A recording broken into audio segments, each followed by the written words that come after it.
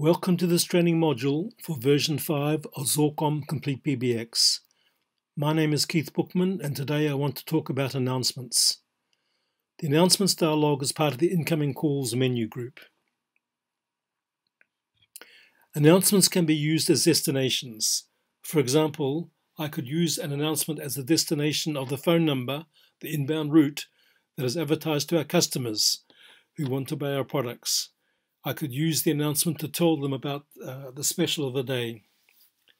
The first step is to make a custom recording using feature code star 92.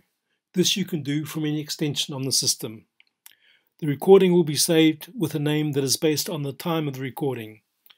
After you have successfully made your recording, you can go to the Settings menu, Group, PBX Settings, recordings management. And you can edit the name of the call to give it a more meaningful name. So instead of this timestamp, I want to call it special of the day. Save that.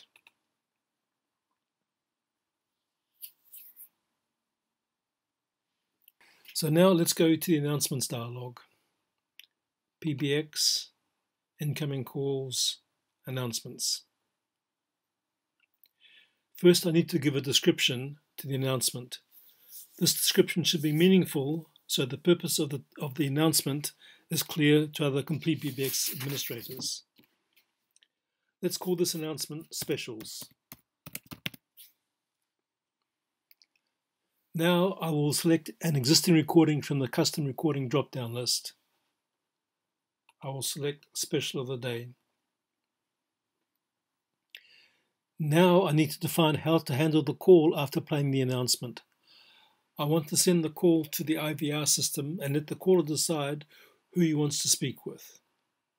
So I'll select IVR and I'm going to send them to the only IVR I have at the moment, which is IVR for Xorcom. Finally, click on Save to save the new announcement to the database. Note the red reload icon that appears at the top of the screen. If I have finished making all my configuration changes, I will need to click on this icon to cause the running system to be updated with any changes that I have made.